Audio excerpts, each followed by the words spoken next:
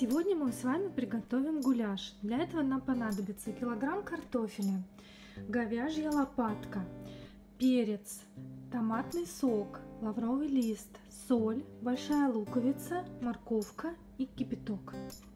Мясо нам понадобится не все, здесь у меня всего лишь полкило. При помощи кухонных ножниц нарежем его на небольшие кусочки, удалив пленки.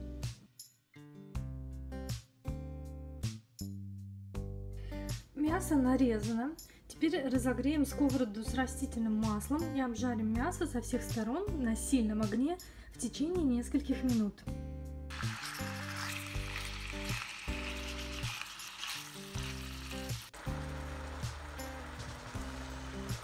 Итак, наше мясо обжарено в течение 5-7 минут. Теперь мы его снимаем со сковороды перекладывая без жидкости в кастрюлю, в которой мы в дальнейшем будем готовить гуляш.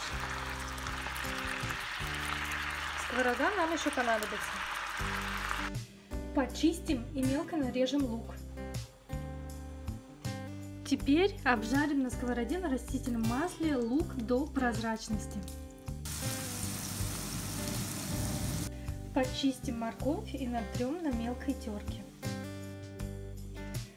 Картофель почищен. Теперь нарежем его на кусочки среднего размера. Картошка нарезана. Перекладываем ее в кастрюлю. Перемешиваем все ингредиенты. Снизу у нас мясо, дальше лук и морковь. Добавляем 1 стакан томатного сока. Так как у нас здесь нет воды, мы ставим кастрюлю на огонь и добавляем кипяток. Его количество должно быть на один палец ниже, чем уровень картофеля. Перемешаем все ингредиенты.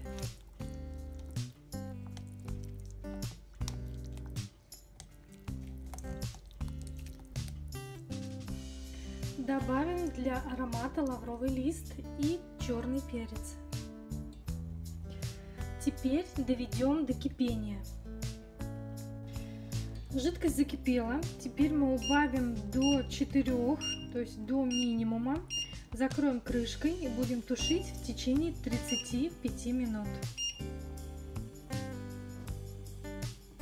Также, так как мы ранее не солили, я добавлю пока одну очень большую щепотку соли, а дальше можно уже порционно будет добавлять кто сколько хочет. Гуляш готов. Теперь выключим плиту и оставим его на 15 минут под крышкой настояться. Всем приятного аппетита!